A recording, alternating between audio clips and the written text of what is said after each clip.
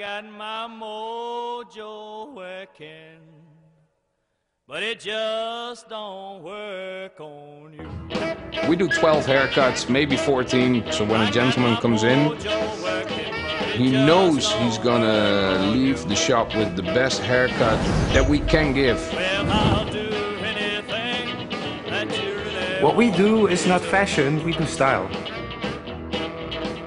When we come here in the morning, there'll be 20 guys waiting in front of the shop every day. It's not even all about the haircuts, it's about being a part of this thing that's happening here. I have to travel for, uh, for over an hour to get here, but I do it every month.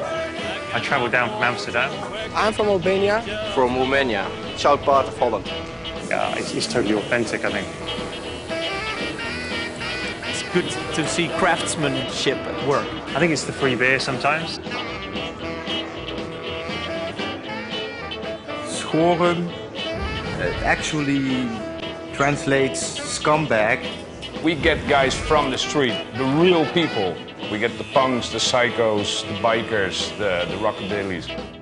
Those were the kinds of haircuts that I just love to do the most. And now that we have the shop, I get to do that kind of haircuts all day long. These guys know they look good when they leave the shop. That's what you do it for. I mean, guys want to look good.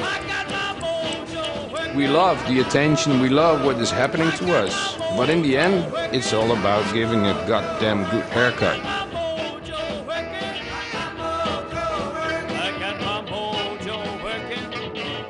So we're scumbags, like, uh, but decent scumbags.